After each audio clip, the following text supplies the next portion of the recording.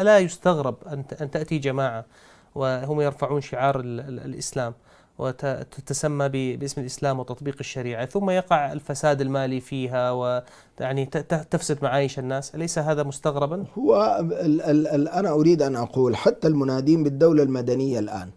بمعنى أنها ليست دولة دينية نقول طيب السودان قامت فيه دول مدنية سواء كان الديمقراطيات التي قامت في فترة الستينيات أو في فترة الثمانينيات.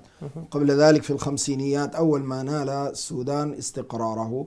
وهذه الدول نفسها عانت من ذات يعني هذه الأمراض. نعم. فالفساد هو الفساد سواء كان في دولة تتسمى بالمدنية أو دولة تسمى بالدينية أو دولة تسمى إسلامية.